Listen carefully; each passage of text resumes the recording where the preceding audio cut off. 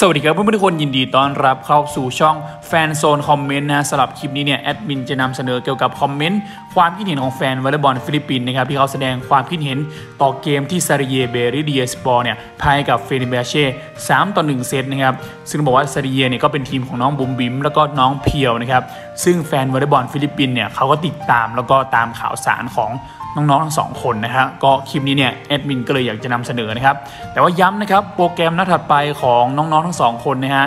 ซาริเยเบเลดิเยสปอร์เนี่ยวันที่ 23 นะครับ เวลา 3 ทุ่มเนี่ยจะพบกับคาริโอเดลี่นะครับ ซึ่งทุกคนก็ติดตามรับชมทาง YouTube เช่นเคยนะฮะ โอเคครับ เดี๋ยวเรามาฟังคอมเมนต์ของแฟนวอลเลย์บอลฟิลิปปินส์กันฮะ คอมเมนต์แรกเนี่ยเขาบอกว่า ฉันคิดว่าในตอนนี้ชัชชุอร คือผู้เล่นที่โดดเด่นที่สุดของไทยแล้ว เธอยอดเยี่ยมมากๆเลย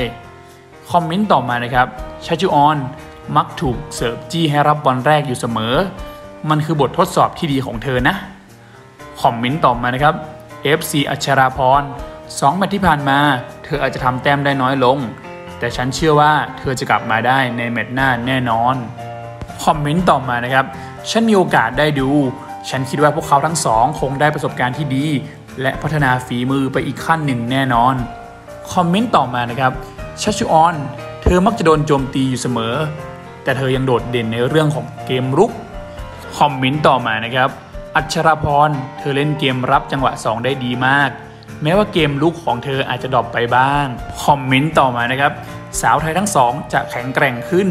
ซึ่งทีมชาติของเรายากที่จะรับมือในตอนนี้ คอมเมนต์ต่อมานะครับ หวังว่าสาวๆของเรา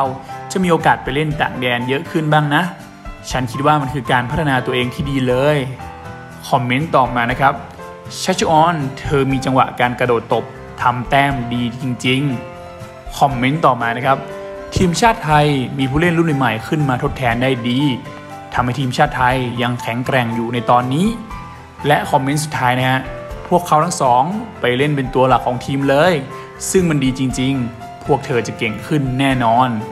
และนี่นะครับก็เป็นคอมเมนต์ของแฟนวอลเลย์บอลฟิลิปปินส์ที่เขาพูดถึงในเกมล่าสุดระหว่างซาริเยกับเฟเนร์บาห์เช่ทีมของน้องบุ๋มบิ๋มชัชชุอรโมกศรีแล้วก็น้องเพียวอัจฉราพรคงยศนะฮะ ซึ่งเราก็ต้องติดตามกันต่อไปนะครับในวันที่ 23 นะครับว่าผลการแข่งขันแล้วก็ฟอร์มการเล่นของน้องๆทั้งสองจะเป็นอย่างไรนะครับคลิปนี้เนี่ยแอดมินก็อยากมาแชร์ความคิดเห็นของเพื่อนบ้านนะครับว่าเขาคิดเห็นอย่างไร ก็มองให้เป็นการที่เขาเนี่ยก็ให้กำลังใจเนาะให้กำลังใจน้องๆทั้งสองนะครับยังไงก็ฝากกดไลค์กดแชร์เป็นกำลังใจให้มินด้วยนะครับ